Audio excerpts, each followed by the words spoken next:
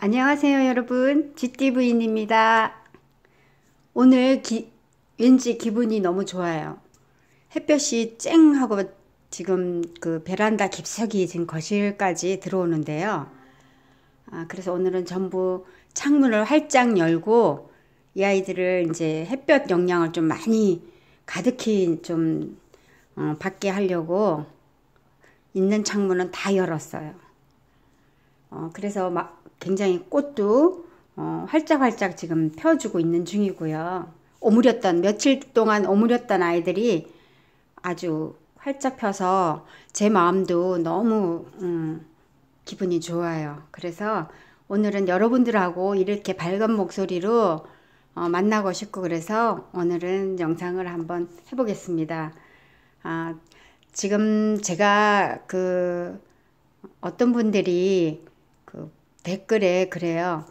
어, 하초를 왜 키워요? 왜 유튜브를 해요? 그래요.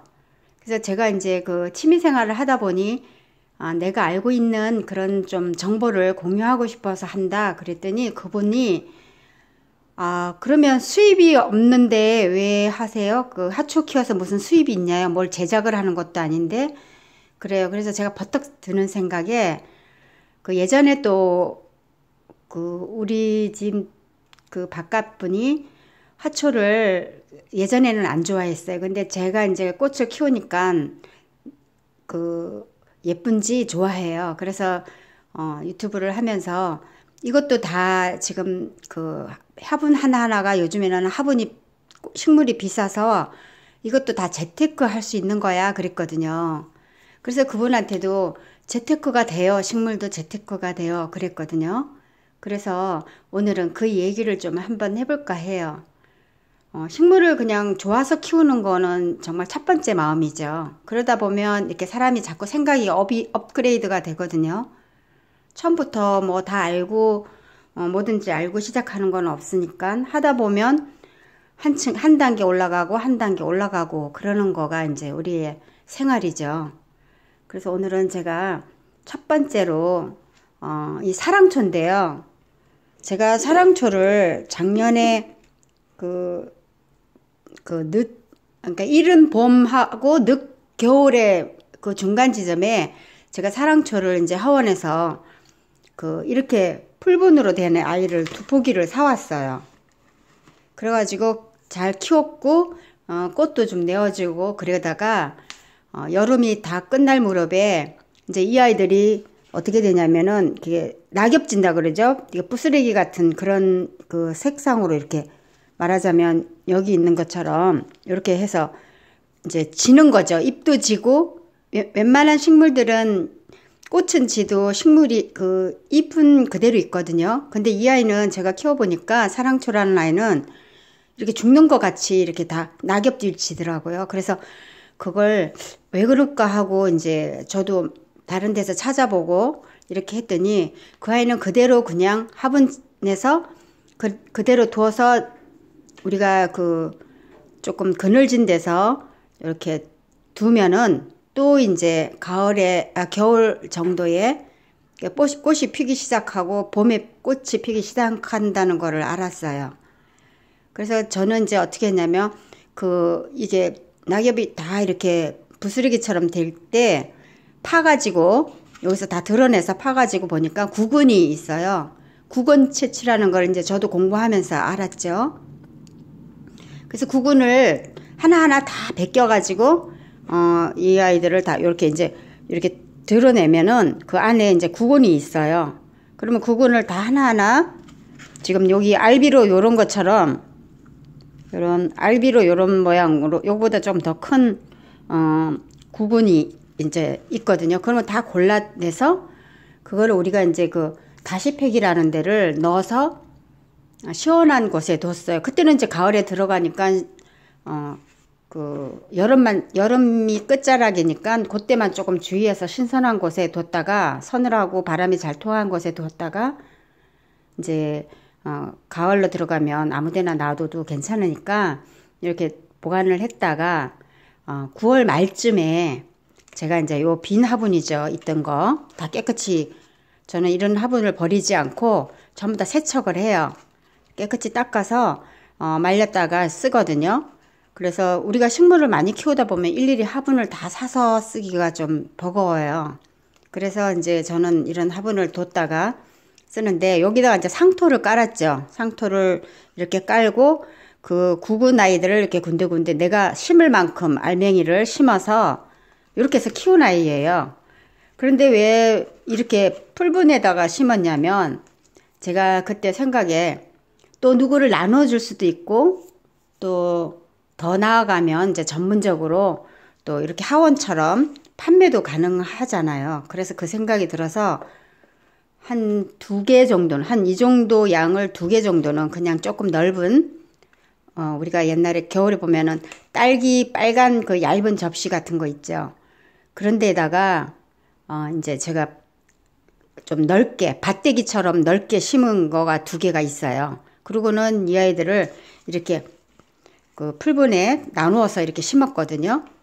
그래서 그 이렇게 해놓으면 요대로 이제 누구 뭐 생일 선물로 좀 줄 수도 있고요. 포장을 예쁘게 해서 또 누구에게 나눔을 할 수도 있고 또 재테크 얘기가 났지만 이렇게 키워서 당근 마켓이나 이런 데다가 또 판매도 해도 되고요. 그래서 그 얘기를 오늘 이제 하, 하는 건데요. 어, 이 아이도 또 우리가 이제 이 아이가 나중에까지 구, 그 봄을 지나서 여름을 지나서 구근 채취하기까지는 계속 피고 지고 하거든요. 그럼 요 아이서는 또 번식을 못 하느냐 또 할 수 있어요. 그게 뭐냐면 지금 이렇게 늘어져서 많이 커요. 지금 아직 여름까지 가야 되는데 이렇게 많이 키는 아이들은 저 같은 경우는 지금 이렇게 많이 크면 또 계속 이게 자라고 그러니까 이거를 이제 수영을 조금 잡아줘야 되겠죠.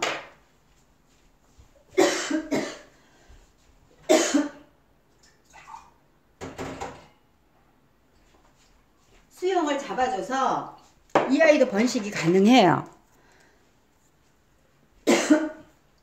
그럴 때는 어 요런 아이를 요렇게 이제 지금 이렇게 늘어졌거든요. 보시면은 이렇게 그쵸? 근데 이거를 잘라가면서 키울까 하다가 자꾸 더 크지도 않았는데 자꾸 자르면은 꽃이 안, 안 펴요. 왜냐면 꽃이 피려고 꽃순을 내줄라 하는데 이를 다 잘라버리면은 또 안 되잖아요. 그러니까 그렇게 자꾸 꽃도 안 보고 있는데 잘라주면 이 꽃을 볼 수가 없어요. 그래서 제가 이제 이, 이런 쪽에서 이제 꽃을 보게끔 이렇게 여기도 나오고 하니까 꽃을 보게끔 음, 올라오고 있으니까 이쪽 아이는 조금 이렇게 제가 정리를 해줘도 될 것 같더라고요. 그래서 요 아이를 정리를 해줘도 지금 여기 꽃이 많이 매달아 있죠. 정리를 해줘도 또 다른 곳에서 이제 꽃이 피니까 그래서 이제 제가 정리를 하는 건데요. 이렇게 해서 이쪽에도 지금 나오고 있고 이제 이런 아이들은 조금 더 있다가 이제 정리를 해야 되죠. 꽃도 이제 이렇게 자꾸 피고 있고 여기도 이제 피고 있고 그래서 이제 요 아이는 정도는 제가 어, 잘라줘도 또 괜찮고 지금 이 상태에서 꽃을 잘라줘서 이걸 버리느냐 그게 아니거든요. 이 꽃이 있는 채로 또 이제 물꽂이를 해주면 이 꽃도 그대로 또 음, 용, 또 다른 용기에서 꽃을 볼 수 있으니까 어, 또 이중으로 좀 실용도가 있죠. 그래서 요 정도 이렇게 잘라주고 그럼 이렇게 잘랐죠. 이렇게 많이 잘라졌잖아요. 그러면 요거를 그냥 정리해서 이렇게 또 물꽂이 하면 되는데 여기 끝에가 꽃이 있으니까 아깝잖아요. 여기도 봐야 되잖아요. 얘를 그냥 버리면 아까우니까 그러면은 이제 여기다가 이렇게 훑으세요. 몇 개만 이렇게 이렇게 훑어서 어느 정도 이제 그 입이 닿으면 자꾸 물러지니까 내가 이제 어느 용기가 있으면 요런 용, 못 쓰는 컵이 있다 그러면 물을 받아서 이렇게 담아 놓으시면 되죠. 그러면 이제 화병이 되는 거죠. 말하자면 화병. 이렇게. 그쵸? 이렇게 해서 키우면 이 아이가 이제 뿌리가 나거든요. 제가 예전에 그 셔츠에도 나왔듯이 이렇게 지금 하나가 이렇게 돼 있어요. 어. 지금 더 지금 그 포함해서 더 심었었는 심었는데요. 그 전에 쇼츠 2주 전에 쇼츠 짜, 찍어놔있는 뿌리가 나와 있더라고요. 그래서 이렇게 해서 하고 요거는 이제 새로 제가 자른 거니까 이렇게 해서 이제 어, 물꽂이에다가 이렇게 해주면은 얘도 또 이제 이렇게 합병이 되는 거죠. 그래서 저는 어, 이렇게 해서 어, 여러분들이 뭐 당근마트에 어, 또그 반찬값이라도 할 수 있게끔 또 할 수도 있는 거잖아요. 키워서 이런 아이들은 자꾸 잘하는 거니까. 그래서 그런 아이디어가 조금 생각이 나서 제가 이제 어, 오늘은 여러분들한테 하고 이제 좀 공유를 해야 되겠다. 나만 알면 너무 그렇잖아요. 이 세상은 다 함께 사는 세상이니까 내, 제가 알고 있는 거를 조금 공유를 해서 여러분들도 좀 새삼스럽게 그런 걸 또 그 제가 하나를 알면 여러분은 하나에서 또 하나 반을 또 더 이렇게 어, 나아갈 수도 있는 거니까 그래서 저는 이렇게 해서 여러분하고 항상 어, 이렇게 공유한다는 마음으로 항상 이 방송을 하거든요. 그래서 조금 도움이 되셨으면 좋겠습니다. 감사합니다. 복 많이 받으세요.